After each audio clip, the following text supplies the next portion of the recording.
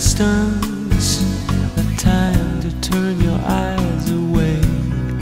Is there a time for keeping your head down? For getting on with your day? Is there a time for cold lipstick? A time for cutting hair? Is there a time for high street shopping? To find the right dress to wear? Here she comes. Heads turn.